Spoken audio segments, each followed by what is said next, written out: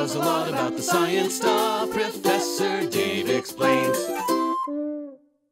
As we recall from the biology series, the foundational concepts of genetics were discovered by Gregor Mendel in 1866. Mendel experimented with pea plants while working as an Augustinian friar in the Czech Republic. His work acted as the foundation of the laws of inheritance, which are the law of independent assortment, the law of segregation, and the law of dominance. If these concepts are rusty, you may want to visit my biology tutorials for some review. But to briefly summarize, the law of independent assortment states that the alleles of two or more different genes get sorted into gametes independently of one another. The law of segregation states that when an organism makes gametes, each gamete receives just one allele, which is selected randomly. The law of dominance states that in a heterozygote, one trait will conceal the presence of another trait for the same characteristic.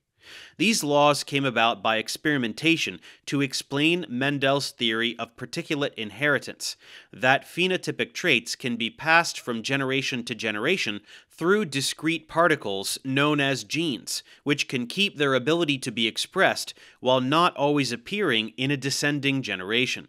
These ideas form the foundation of genetics, and thus how organisms can change over time. Of course, genetics applies as much to humans as it does to any other organism.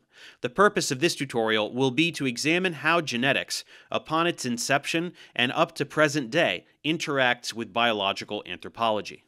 Genetics confirmed what Darwin already supported with morphology. Humans are an animal related to all other animals on the tree of life. But can we investigate what living animals humans are closest to in order to investigate our evolution?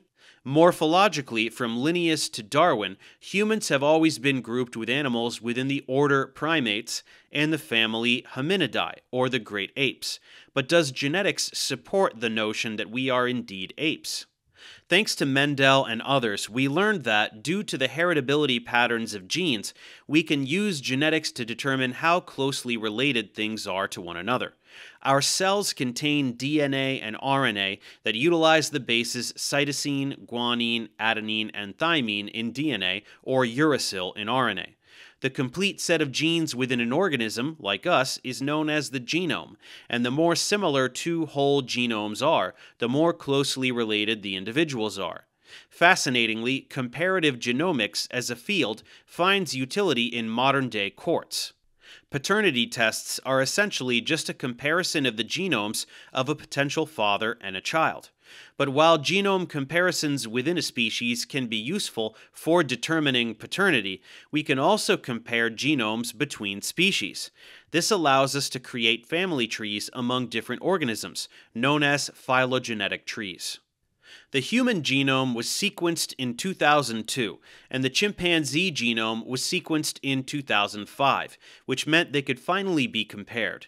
Previously, only individual genes had been compared between humans and other organisms, which was still quite useful, but a comparison of the full genome of a human with another animal had yet to be done. In 2005, we learned that the human genome is 98.8% identical to that of the chimpanzee when comparing alignable regions only, and 96% identical when comparing genomes with insertions and deletions included. This means humans and chimpanzees are more closely related than rats are to mice, coming in with around 95% alignable regions. Since then, we performed more sequences and discovered that humans and chimpanzees are more closely related to one another than either is to a gorilla or an orangutan, the other living hominids. Compared to the nearly 99% similarity of alignable regions of humans and chimps, as well as bonobos, humans share around 98% with gorillas and 97% with orangutans.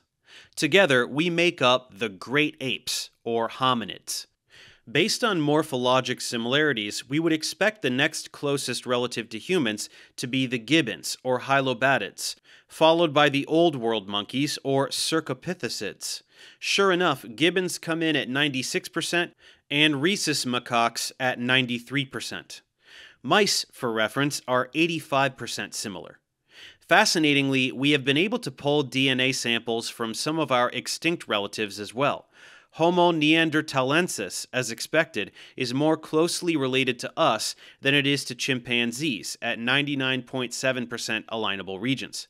The same is true for Denisovans, another extinct hominin species. So, genetics corroborates morphology, nested hierarchies, and the notion that humans are primates, more specifically apes. The only assumption made is that inheritance does not stop arbitrarily at any given point. Evolution makes a prediction then. If humans and chimpanzees are both apes, we likely both evolved from a more basal ape sometime in the past. If true, in the case of humans, we should find apes with progressively more derived or human like morphologies through geologic time. That is to say, we should see species that act as transitional forms through the rock layers. But before we investigate the fossil record, we need to understand the mechanisms of evolution as well as the anatomy of various primates, including us, so that we can understand how our species evolved through time. Thanks for watching. Subscribe to my channel for more tutorials. Support me on Patreon so I can keep making content. And as always, feel free to email me, ProfessorDaveExplains at gmail.com.